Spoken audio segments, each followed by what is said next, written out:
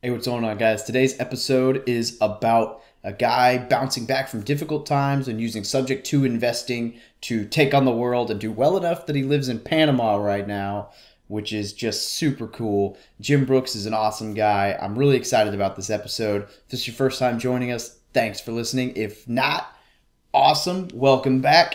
Be sure to check out the show notes at militarytomillionaire.com slash podcast. Now relax and enjoy the show.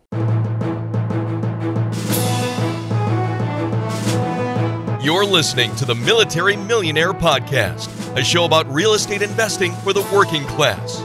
Stay tuned as we explore ways to help you improve your finances, build wealth through real estate, and become a person that is worth knowing.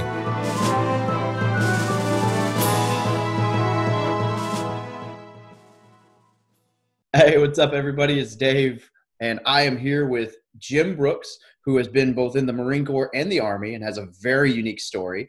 And he's done well enough with real estate that if you can see his background right now on YouTube, he's living in the jungle in Panama, paid for by his properties, scuba diving every day, which is just super cool. Jim, welcome to the show. Tell us a little bit about yourself. Thanks, Dave. Um, well, I could tell you I did 10 in the Corps and 13 in the Army. Um, I was, uh, when I was in the Corps, I did uh, infantry, I did recon, got out for a few years, uh, finished my, my bachelor's degree, ended up in the Army Reserves, did 13 years special ops, special forces. Ended up going to Afghanistan. I was with 7th Group in Afghanistan, up in the Hindu Kush Mountains, northern Afghanistan, doing horseback missions.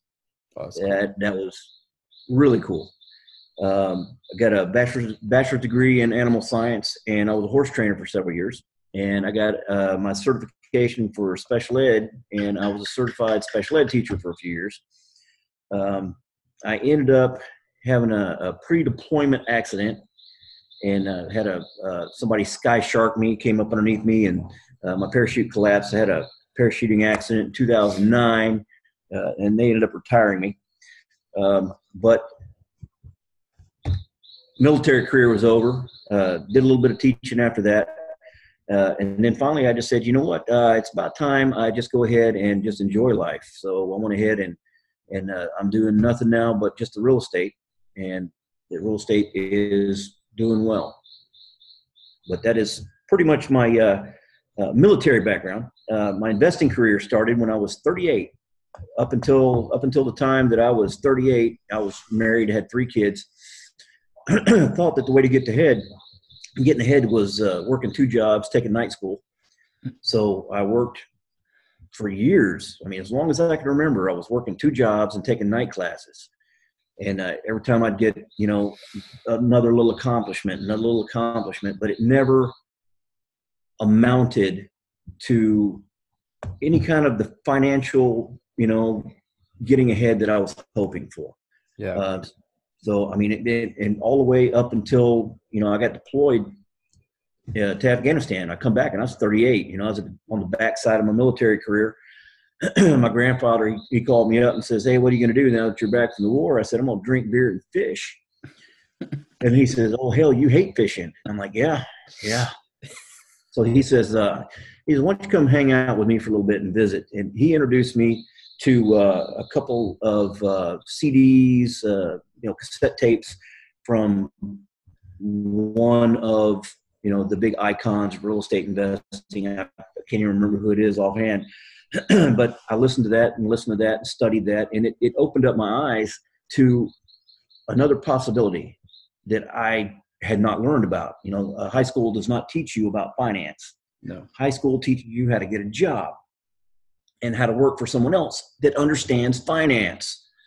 So uh, I started, you know, I did the, the Robert Kiyosaki Rich Dad Poor Dad um, and every other real estate book that I could find, and just just kept working, kept studying, kept learning. Um, I was still working a, a, day job when I got back. You know, I was uh, doing some substitute teaching and and just work where I could when I could. and one day uh, I, I got a lead and I responded to the lead, and he accepted my offer, and I bought a house. And I would, I was pretty much amazed because I didn't, you know, I was my first one, and I made him the most ridiculous offer. I mean, I was so embarrassed about this ridiculous offer that I didn't even want to answer the phone when he called me back. But it was my first subject to deal, my very first deal, and we we had when I got back from Afghanistan, we had sold my horse ranch uh, outside of San Antonio, so we had really no place to live, and I didn't have a job, so I couldn't just move into a house anywhere. So we were living with family while I was trying to get back on my feet. Ended up getting this deal, and my wife said, We're moving in. So we moved into my first deal. And I just did the same thing with the very next decent lead that came along. And a couple months later, I bought another one, same thing. And it was a subject to deal. And uh, I spent, from the time my grandfather introduced me to real estate, I spent a good year studying, learning, working on marketing. Uh, and what I did was I created a funnel by getting a real estate website. And uh, I did that through Dustin Griffin with uh, what it's Street Smart, Super Smart, Super Smart Web Profits. Yeah, Super Smart Web Profits. Got a website, real estate website. And then I would put up bandit signs. I had a sign on my truck. I had uh, business cards that I would accidentally drop in Walmart when I was walking around. I was putting, I mean, I, I bought the big box, so I had too many. So I would I stop at a gas station. I'd be sticking them up on the on the little thing. I was dropping cards everywhere. Uh, so I did the, the business cards. I did uh, the the bandit signs. I sent letters. Did some direct mail marketing, but I was funneling everything to my website. So everything was funneling and then I would get an email that says you got new leads, and then I would go to my website and I would look at them, and I would go down the leads and say, okay, that one's good, that one's good, you know, and the rest of these are all all junk. I was looking for motivated sellers, people that were willing, if they were in a bind, willing to work something out. So that was the first and second deal that I did, which were both uh, subject to deals, and they worked out real well and from there, I just kept doing it, kept doing it, and then I would expand a little bit, learn a little bit more, uh, and try something else. And I would keep following up with my leads. Somebody call me up and they say, "Hey, I've got a well, I didn't on the phone, but I get an email, and I go to the lead that they submitted through my website, and I would look at it and I would say, you know, uh, this is the best I can do, and they would come back and say, okay. And then I'm like, I'm gonna have to call you back, and I'd hang up the phone. I'm like, they did not just agree to that. so uh, and and so it's been it's been interesting, and I ended up getting up to where we had 50 properties. We had a, a fourplex, we had a threeplex, and a bunch of duplexes, and a total of 50 properties. Not 50 units. We had 50 properties, and uh, we were we were rolling. I mean, we were doing so well that I mean, and the thing about the subject to, you when you get it, you get it for zero down.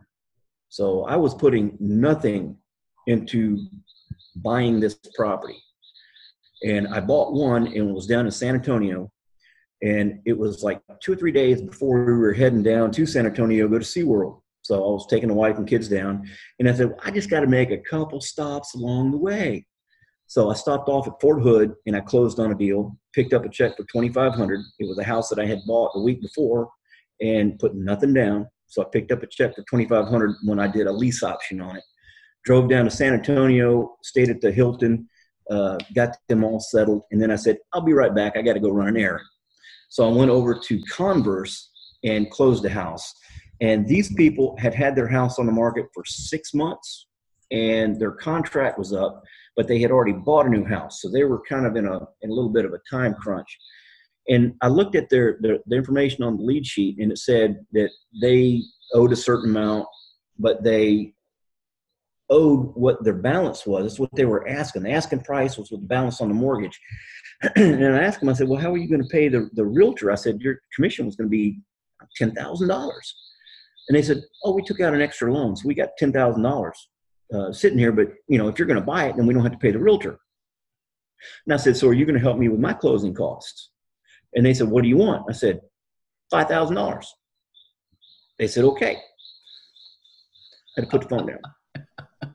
really? They said, Okay. So I bought a house and made $5,000 and went, went back and uh, put put the thing on uh, on uh, Craigslist or whatever, however I was marketing. I don't even remember. Um, and then the next morning we got up, we went to SeaWorld, we had a great time, we came back, everybody's tired. I get on and I got somebody that says, Hey, I'll give you five thousand dollars to go, you know, do a lease option with this house. Okay. So I said, I'll be right back. So I ran over to Converse, did a little contract with him, collected a check for five thousand dollars, and, and went back to it. So I mean, I made twelve thousand five hundred dollars on a vacation weekend. and I had it was closing on two properties that I bought, and I had put zero down on them. Um, it, I, I, mean, it, it, just don't get too much better than that. I, I bought another one in San Antonio, uh, zero down. Uh, the guy was military. He was look. I'm leaving like tomorrow. I've had it on the market. Buy it, but all I'm going to do is buy the house by taking over the mortgage. I'll take over the existing financing for the balance that you have. I said you're not going to pay any out-of-pocket expenses, no closing costs, no fees.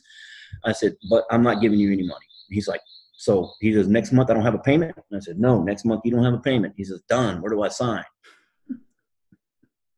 right here. you sign right here. so three or four days later, I had someone giving me ten thousand dollars to move into that house. So I had that much into it, and I just get a check for ten thousand dollars a few days later. So, like I was saying, you know, when we had fifty of these things, we were doing pretty good. So for the first time in my in my life, I guess I was probably about forty, and you know, we'd always been you know long on month and short on money, and I was finally able to to to say, hey, baby, where do you want to go? Anywhere you want to go we'd pick up a condo down in down in Florida and go down there and stay on the very top floor, nicest room they had. We, me and my wife got a three bedroom, two bath condo. They had the one bedroom, but I said, "Oh hell no, I want the three bedroom." I, yeah, I don't know. It was just you know for the first time in my life, I was actually able. I had a little bit of money, and it, it was good. I, I I called down to uh, to a, a dealership in Tyler uh, Tyler, Texas, and I, I, I, said, "You on your your your uh, website, you've got a, a, Hummer that you're selling." And the guy's like, oh, "Yeah, yeah. Would you like to come down and look at it?" I'm like, "No, I don't want to look at it." I said, "Go ahead, and I'm signing for it here. I just want it delivered to my house tomorrow." All done. And when my wife came back from the store, there's this Hummer sitting there in the driveway, and she's like, "Whose is that?" I said, "It's yours. Happy birthday." And she's like, "No, don't mess with me." I'm like, no, it's yours. Happy birthday. It, it, took her a while. She just sat in it for like an hour. You couldn't get her out of there with, you know, you couldn't tug her. She was not getting out of that car. Uh, you know, and then I ended up going from from driving my old piece of junk. I had a, a 3500 uh, Dodge Dually with a Cummins turbo diesel, four wheel drive, lifted with the big 35s on. Bought me a, a, a big house. Well, uh, that's later down the road, but uh, we were doing good. We we were doing good. And then because I was still in the reserves.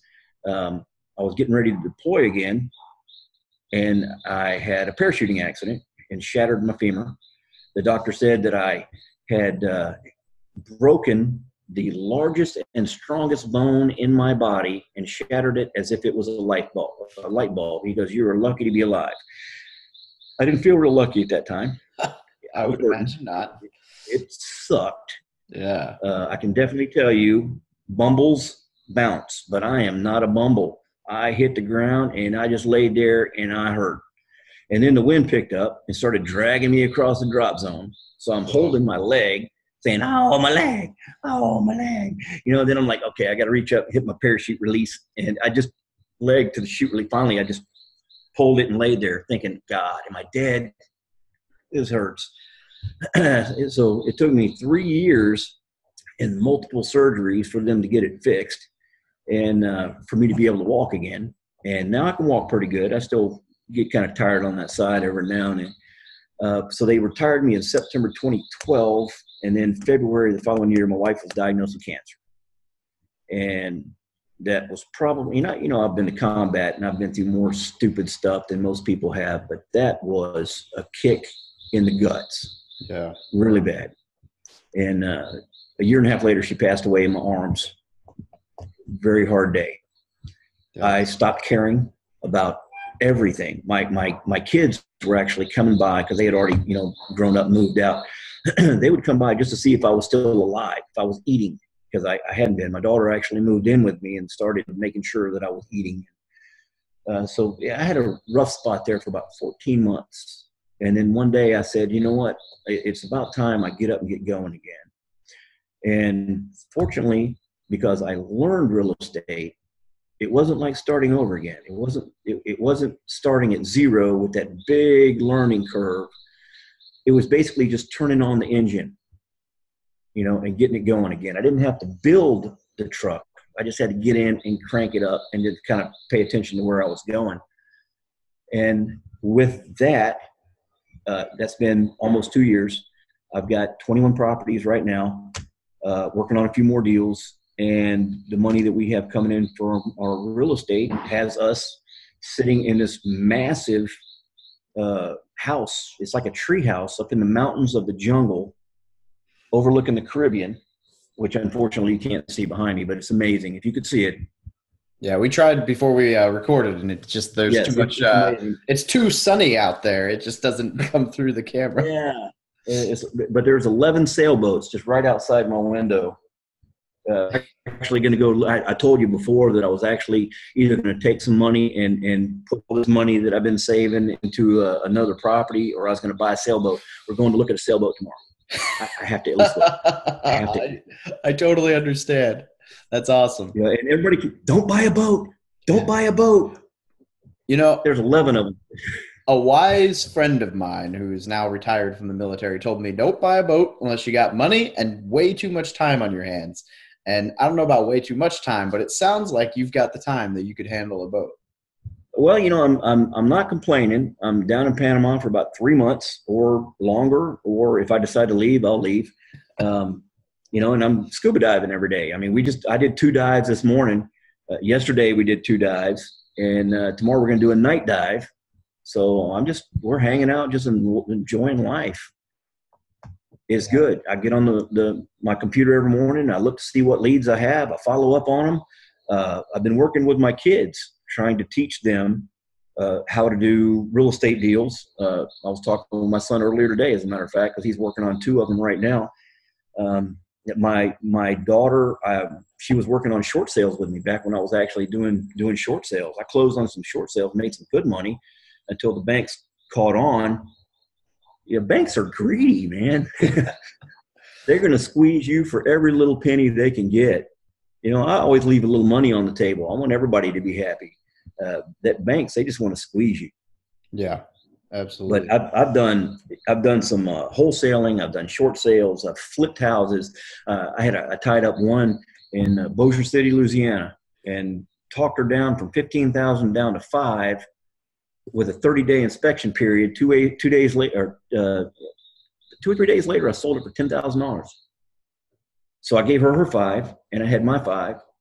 You know, and the, the, the thing about wholesaling or flipping you know, yeah, you can do it. You can make a little quick money off of it, but you have to keep doing it.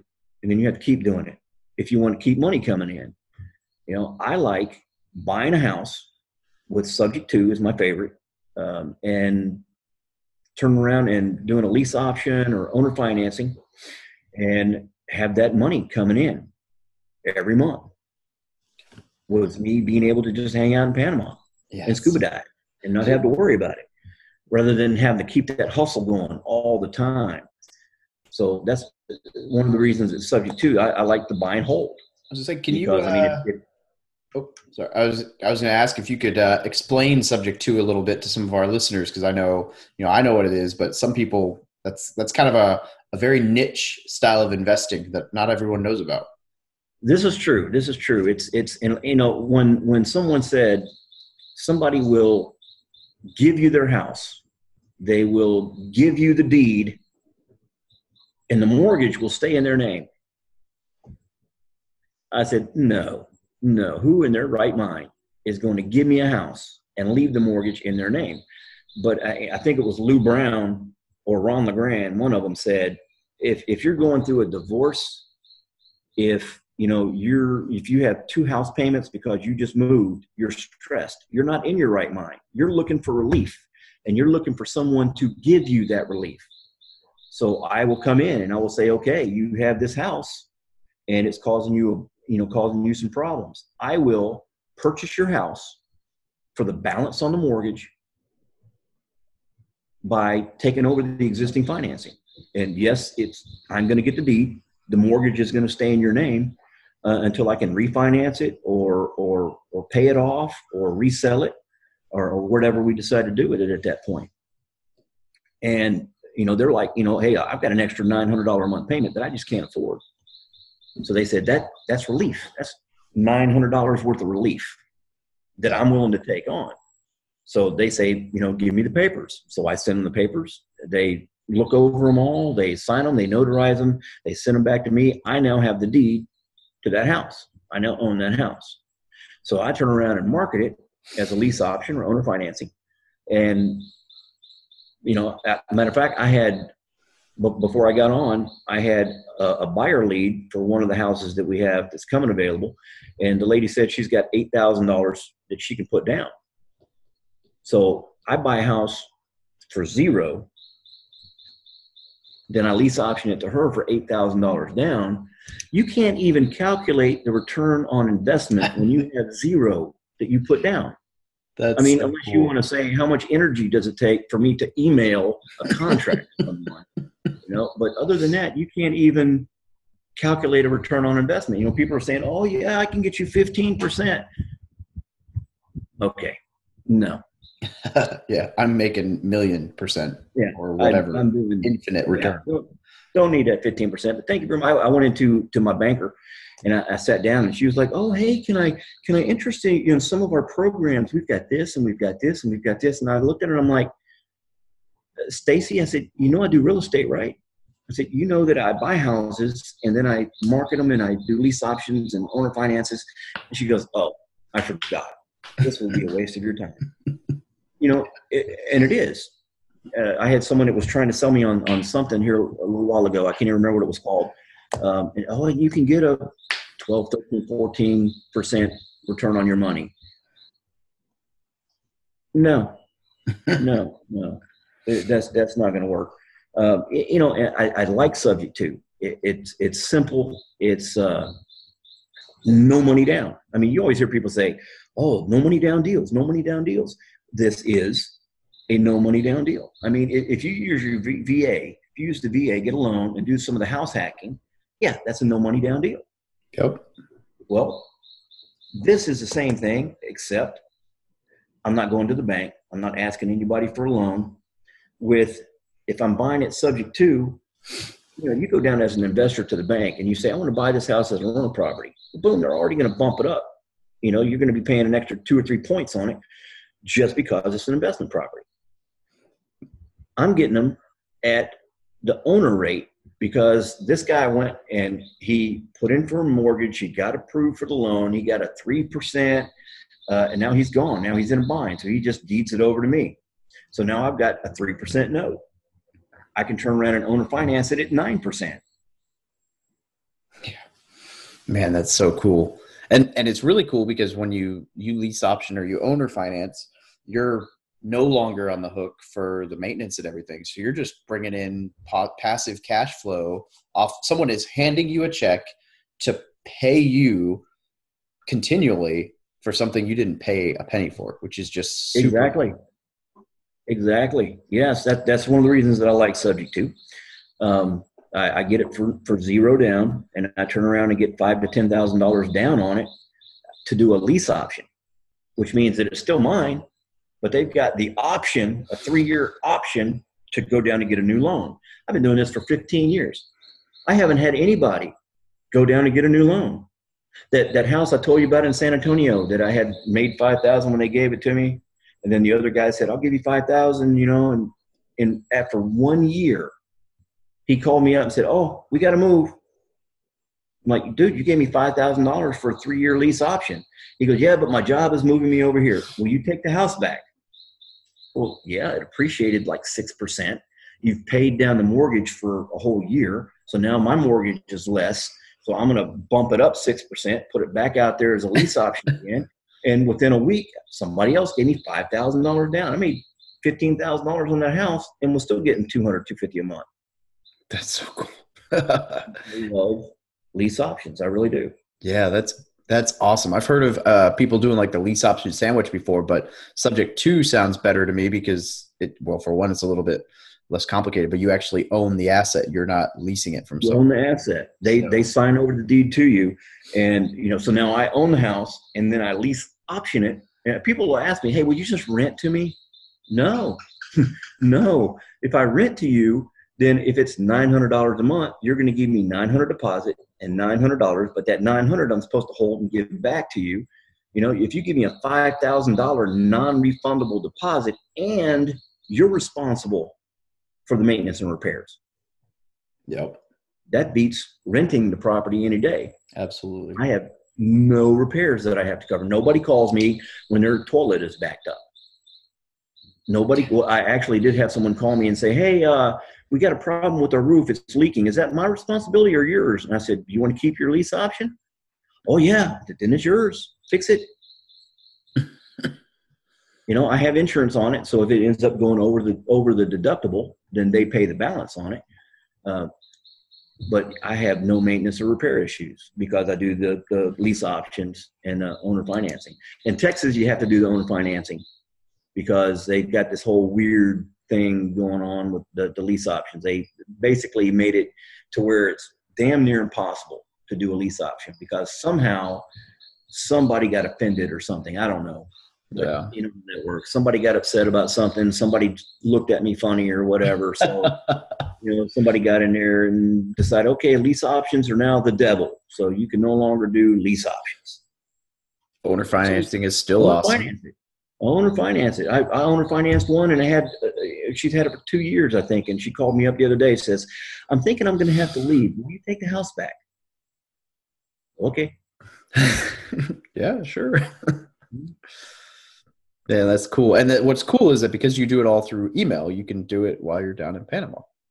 Yes, uh, as long as I've got an internet connection, I'm good. You know, I, I really don't do a lot with my phone, other than you know, like play on Facebook and stuff. But uh, yeah, so I, I most of my stuff is uh, through email. That, like I said, um, you know, you you put out the marketing. So uh, you know, you put out your your bandit signs, or you have the the you know different internet marketing, or you have a billboard, or you have cards, or whatever. Um, and you do the marketing. You could send out. My, my son right now is sending letters out like it like like there ain't no tomorrow. He's sending out letters. He's been burning out like fifty a day. And for a week or two, he was just like, Dad, I haven't heard anything. I haven't heard anything. Yesterday, he's like, I've already got two people that have called me. Today, he's like, Oh, I've got someone else that's called me. What do I do? So I'm going over each little step and, and trying to help him out with it. But as long as you set up your, your marketing, I, I don't like calling people. I, I really Yeah. don't. Uh, it's like, Hey, I see your house is for sale. I'm in the middle of watching Oprah. Yeah. Okay. I'm offering you money. Like, yeah. I'm, why are you being angry? You're the one who put the house up that said it's for sale. I'm calling you about the house, and you're yelling at me because you're in the middle of watching TV. Do you want to sell the house or not? I, I don't. I don't care. You know, if if you don't, somebody else will. Yeah, exactly. So I, Yeah, it, it, I got so tired of calling people. I said, you know what I'm doing wrong. I said, what I'm doing wrong is I'm calling these people about their houses for sale. I said, what I need is for people to call me and beg me to take their houses. So I need to find people that were motivated, people that are in a bind that needed to sell their houses. And that's pretty much what I've been marketing to. But if I, I was putting up bandit signs, I was sending out letters, I had my cards. Right now, most of my marketing is is just pretty much on the internet. So I don't actually have to get up every day and send letters or do any of that. But it's still funnels Walmart. hmm Yeah, I did. I did. Matter of fact, I had I had one. I put up a sign in Walmart parking lot in in uh, uh, Sulphur Springs, Texas, and I had this this uh, lady call me up, and it was at least a hundred twenty five, hundred thirty thousand dollar house, fully furnished, because their sister had died. She died in a nursing home, but her sisters, there was three of them, didn't want to come in and have to sort through all the stuff. So we went over, we looked at it, we're just like, most of this stuff is antiques this, you know, it had a, a little bit of a foundation problem on one side, and I'm just like, okay. I, I did a little bit of research, and I said, okay. Uh, I think, like I said, Lou Brown or Ron LeGrand or someone. He said, if you're not embarrassed when you make an offer, then you're making an offer that's too high. Yeah. I said, okay. I said, I know this house is 125, 130,000 dollar house. I said, but I know there's fifty thousand dollars worth of stuff in that house. So I said, I'll give you fifty thousand dollars for this house. I said, but I need six months before I give you the money. I said, so I'm going to get the contract now. I get possession of the house now. In six months, I will have it cleaned up, painted, all the stuff will be gone, and then I can turn around and sell it and pay you in six months. And they said, Well, let me talk to my sisters and I'll get back with you. I was so embarrassed about this offer that I never even called them back.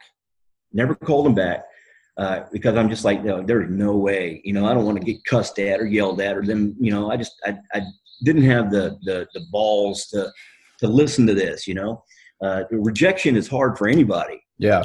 Especially when you're making stupid offers. So I'm standing in Dallas at a bookstore and my phone rings and I, I answered the phone and it was that same lady and she goes mr brooks she goes i have been looking for you for a month we agreed to your offer but we couldn't find you and you never called us back so we gave your offer to someone else and sold the house to him Ugh.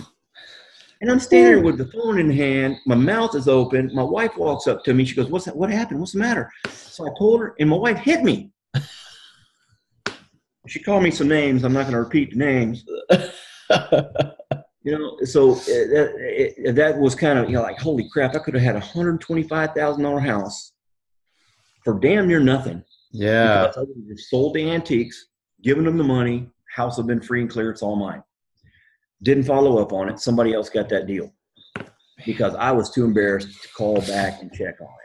So Yeah. Following up can, I've, I've actually been in situations like that where I'm like, man, I don't want to, uh, they didn't call me. I don't want to try to, uh, I feel so bad. You know what? I don't want to, yeah. And, and the follow up is, is really, it's probably the most important part, but it sucks. I think it really is. It really is. So, and I've, I've realized sometimes I'll get on and I'll be, you know, looking at leads and I'm like, okay, I'll make an offer on that one. I'll make an offer on this one I'll make an offer on this one, close my computer and walk away. And like two or three days later, I'm like, oh God, let me check. And I'll end up following up with them. Uh, sometimes I'll actually send a second email and a text message and just say, hey, you know, we sent you an email. We said we were interested in your property. You know, if you're interested, please get back with us. Sometimes they didn't get the email. Sometimes it went to their spam folder. So here I am thinking I'm being rejected, and they didn't even get to get the offer. so yeah, follow up is good. Follow up's Yeah. important. I actually just had a. Um, uh, this isn't a property, but it is real estate related. I can't really name the website, but I uh, I had an article I wrote, and I thought it'd be. I mean, it would have made a good article for my website, but I felt like it was good enough that I could try to put it on a bigger website and get some get out there a little bit. So I, I emailed them, never heard back. Like a month later, I emailed the same person again, never heard back. And then like last week, I was like, okay, I'm gonna email it, I'm gonna attach it, I'm gonna change all the words in the email and try one last time.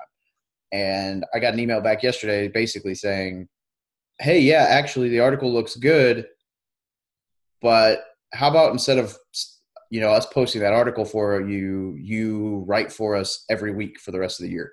And I was like, oh, okay, like that's a lot of work, but uh, the payoff will be huge because it's getting my name out there a little bit. But it's just you know Right. something like most most people would have sent an email or two, not gotten a response, and said, all right, well.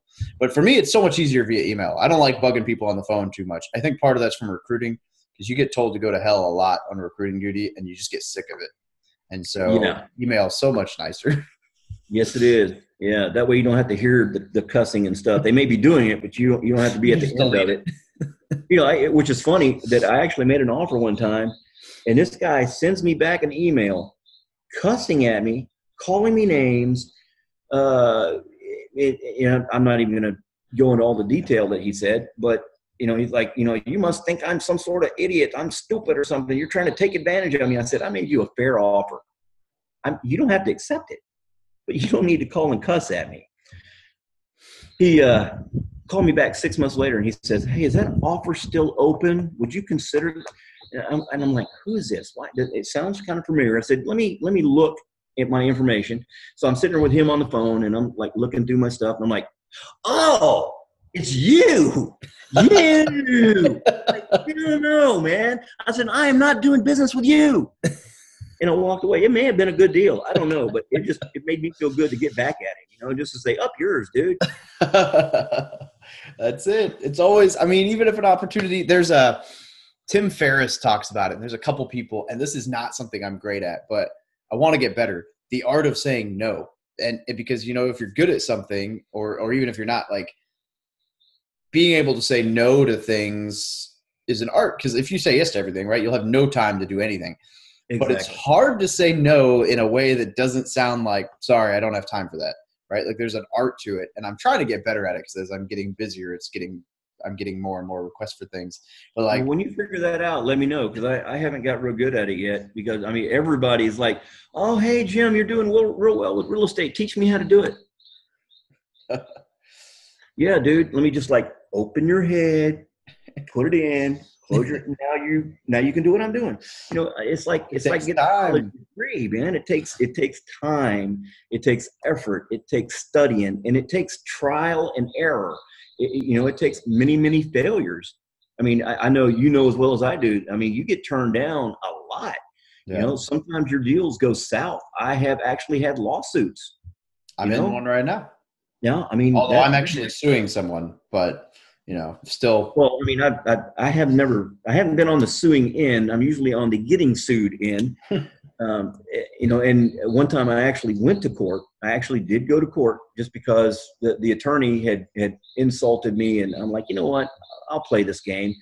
Uh, usually, when the the attorney will send me something, it'll say, you know, according to my client, you did this and you did this and you didn't give him back this, and then I'll highlight the part of the contract from those very same people, send it back to that attorney, and every stinking time the attorney will say, either these people are no longer my client, sorry to have disturbed you, sorry, sorry to have taken up your time. You know, as long as your paperwork is good, it's ironclad. So I ended up going to court one time in Abilene, and the uh, both my attorney and the mediation attorney both said, "Jim, this is the best contract I've ever seen." They said, "This thing is ironclad. They can't get you on nothing no matter what you do. You could go and light their house on fire burn it down whatever. They have given you permission to do anything you want and they have also agreed not to take you to court or sue you or anything.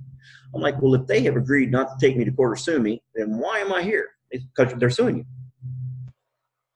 I said well what is my response? And he's like you don't even have to be here this is a waste of your time I'm like, really? They said, they can't do anything.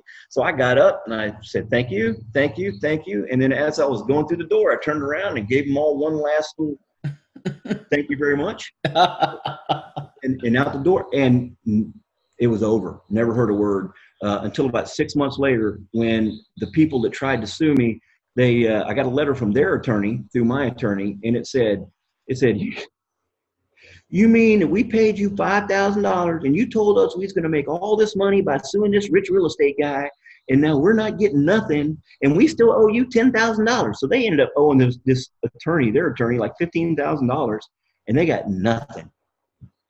You know, some people are just greedy. Yeah. You know, sometimes people just say, how can I get back at this guy? Or how can I, you know, and the, ultimately what happened was they had sold me their house six months later, they changed their mind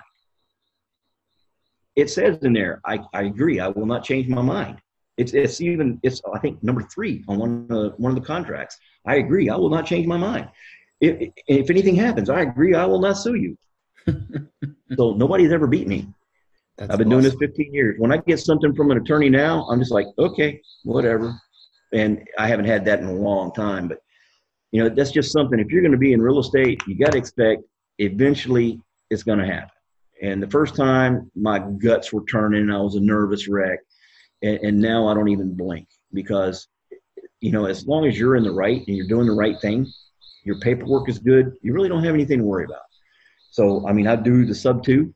Uh, I also do, I, I, I, buy also with owner financing. Uh, I was driving down the road one time going to visit my mother in law, and I had my website on the back window of my truck. And I got a lead because all my leads funneled into my website and then I would get an email saying you got new leads.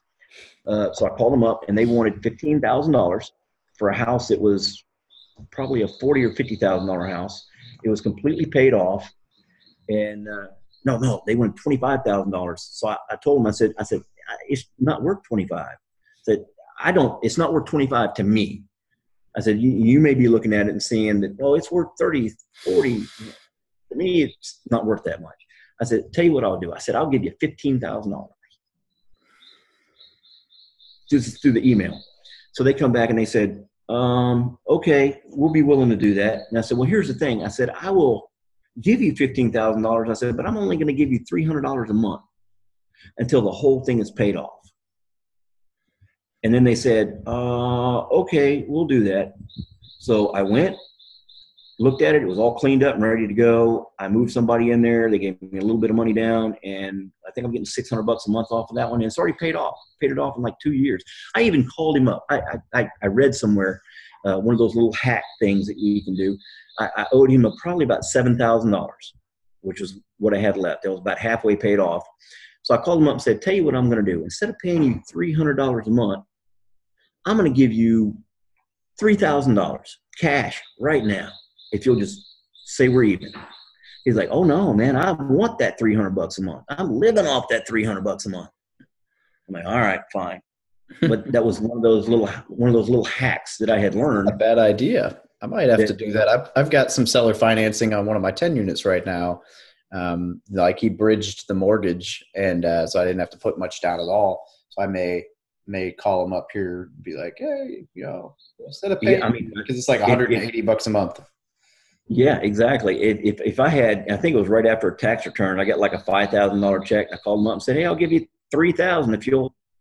And uh, no, no, no, we can't do that. So I tell you what, I'll give you four thousand. I'll give you four thousand dollars, and you wipe off that seven thousand. I figured I was going to take that fifteen thousand and bring it down to twelve. So then I would buy that house for twelve thousand.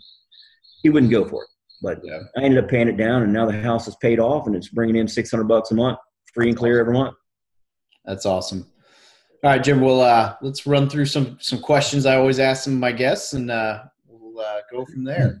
Um, All right. So if a if a young 18, 20 year old was to walk up to you, ask you for advice, and you had just a moment, what what would be the one thing you'd want to tell him? If he was just asking me for general advice, I would say invest in real estate for the long term, not for the short term, but for long term. I would say study and learn everything you can after you have a good understanding of, of real estate, you know, study finance because you either are on the receiving end of finance or you are on the losing end of finance. Because if you understand finance, you're going to do well. If you don't, everybody's going to be taking advantage of you. Uh, get into real estate long term, learn everything you can, study finance, uh, and just keep learning. Never stop learning. That's yeah. and never be afraid to to to take a chance make some offers. Matter of fact, I think I think it's pretty much the same thing I just told my son. I think he's 23 and he's just he he's oh I'm going to do this, I'm going to do that, and he comes back and says, Dad, none of this stuff is working. I just how can I do real estate like you? And I told him I said, Get Rich Dad Poor Dad by Robert Kiyosaki. I said, first thing you need to do is read that book and get your mind right. You know, in high school, they train us to learn skills to get a job and work for someone else. No, you, you get your mind right. Instead of instead of working hard for your money, have your money working hard for you. You know, that's the key. Uh, and the way you're going to do that is by cash flow. And the best way to get your cash flow is long-term cash flowing real estate. Yeah, I'm a I'm a definite believer that would be my advice. Awesome, and that's good advice to give. All right, uh, so you mentioned Rich Dad Poor Dad, but uh, outside of that, what's uh what's one resource, uh, you know, book, course, website, whatever that you would recommend to anybody trying to get started in real estate? Uh, well, like I said, what I do is I, I like having all my marketing funnel into one place, which is my website. Um, and part of me paying for a monthly website goes into marketing. So I get I get leads from people that I didn't even market to. They just are searching on the internet and they find the website and they say, "Hey, look, please buy my house." So I mean, any day of the week, I would rather have people beating on my door begging me to buy their house than me having to bang on theirs and getting yelled at, cussed at. So, uh, like I said, the the website is uh, Super Smart Web Profits, Dustin Griffin, and he's got real estate websites, and he's got really good ones. So that's one resource that I would say is definitely worth considering. Awesome. Um, uh, resources. Uh, there's uh, several of the real estate sites. Was it REI something? REI.com. Uh, there's several of, of the different uh, real estate websites that are out there that have a lot of good information, a lot of good articles.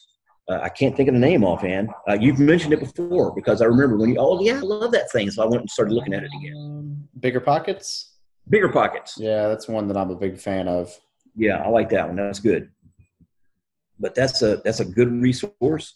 It, it's not expensive. Yeah, something that I used to do is just on Sunday afternoons I would go to uh, go to the bookstore and get me one of those big old cappuccinos, and I'd go and pick up two or three books on real estate and go and sit down and I would just be sitting drinking my coffee for two or three hours going through those books. And if one of those books actually had really good information, I would get it. Sometimes I would go through it and I'm like, all right, I already know all that. Okay, I already know all this. I'm looking for something new. And when you first start, everything is new. Yep. But then as you get going, you, the information, you know, you're looking for something new and not just the same thing over and over again. Uh, so once I would find something, and I've got a big library. Uh, I ended up after uh, after my wife passed away, I couldn't I couldn't live in the house that we lived in because it was it was her house. Uh, ended up buying a 4,250 square foot two story on three and a half acres. Um, Big it was house. huge. It, it was five bedroom, three and a half baths, had an in ground pool. Uh, it was about I don't know eight miles from town, outside of Greenville, uh, in Texas uh, the guy I just happened to be driving by and you know I see the house and the grass was overgrown. There was a little sign out front and it said for sale, but the house the sign was kind of falling over. So I got out and I looked at it and I called the guy up. Come to find out, they were like one week away from going into foreclosure. So I told him, I said, tell you what I'm going to do. I am going to buy your house. I said, I'm going to do that by taking over your existing financing for the balance on your mortgage. I said, yes, the mortgage will stay in your name. However, I will be responsible for all the payments and everything from here going forward. I said, You will have no closing costs. You will have no fees. You have zero out of pocket. And I said, And next month, I said, I will be paying your bill. He's like, Well, it's going into foreclosure. I said, Within the next six months, I'll have it caught up. That's going to save your credit. And that's exactly what I did. I ended up putting $100,000 of my money and fixed up that house uh, I did the, the, the foundation and and a lot of work on it. Spent a couple years working on it. Ended up being beautiful, beautiful house.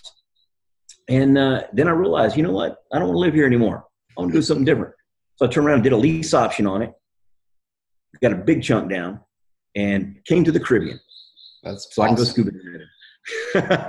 What a cool, cool way to end up in the Caribbean. that, that is it is pretty cool. I, I would I, I was hesitating. I'm like, you know, I put so much work in this house, and I've done this. I mean, I got a pool out back, you know, and uh, I'm like, well, the, the Caribbean is one big pool. yeah. And Yeah, I'm you tired of scuba diving in your I'm tired of scuba diving in my in my pool. Kept bumping into the, the edges. So exactly. Oh man, that's so cool. All right. Well, before we wrap this up, is there anything uh, that you want to add? Any parting advice?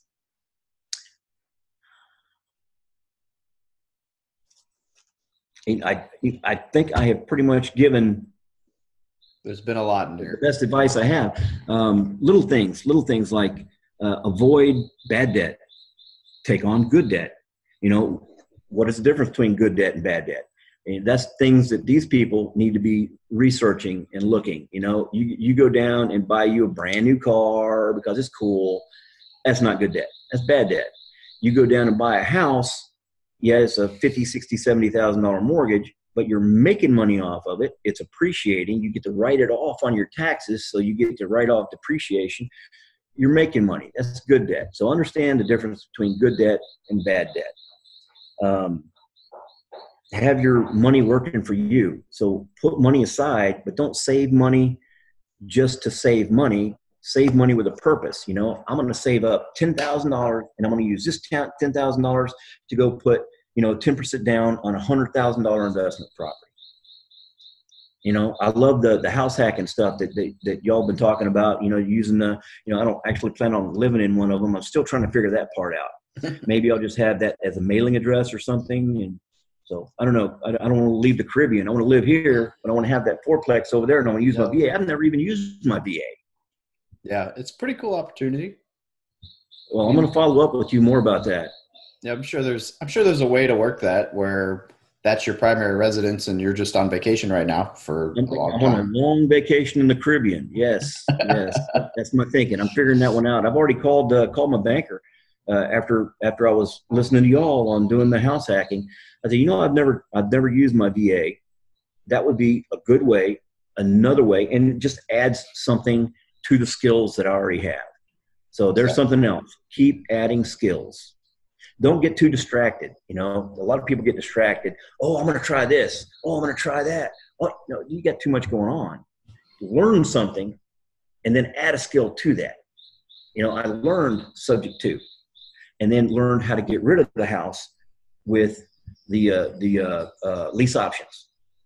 That was all I knew. Buying subject to, selling it back in was lease options. And then I found, you know, that I could buy it with owner financing. I'm like, okay, that's pretty cool. And uh, then I learned how to sell with owner financing. So then you're adding multiple little bags of tricks, multiple skills. Uh, then I got into doing short sales. Then I did a little this and then a little of that. So, I mean, after you got something down, add something to your skills. Always be learning. Absolutely. Absolutely. All right. So, Jim, where can people get a hold of you? Uh, well, I've got a, my email, which is Jim, J I M, at fresh, F R E S H, start investments, that's plural, LLC.com. Yes, it is long. So it is Jim at fresh start investments, LLC.com. That's my email. Easy day. I'll I'll link that below in the show notes so people can people can see it. That way they don't have to remember it. There you go. Easy day. Jim, I really appreciate you coming on this show. It's been a pleasure. Uh, one of these days, I might have to come down there and grab a beer with you. That uh, hey man, well, not today though, because today they're doing elections, so there's no drinking. Oh, what kind of mess is that? Everybody loves drunk, drunkenly yeah. electing politicians. I, I have no idea. This is the, the second time since we we've been here that they just nobody's allowed to to sell alcohol. Uh, fortunately, uh, we said, okay, there's going to be three days for the election that they're not going to be able to sell alcohol. So we went to the store ahead of time, stocked up on rum because we're in the Caribbean. got to drink some rum. Where's yeah. all the rum? So we got plenty of rum. That's awesome. Awesome. Well, Jim, have a great day. Thanks for joining us. All right, my brother. I appreciate you inviting me. Thank you for listening to another episode about my journey from military to millionaire. If you liked it, be sure to visit from militarytomillionaire.com slash podcast to subscribe to future podcasts. While you're there, we'd love for you to rate the show, give us a review on iTunes. Now get out there and take action.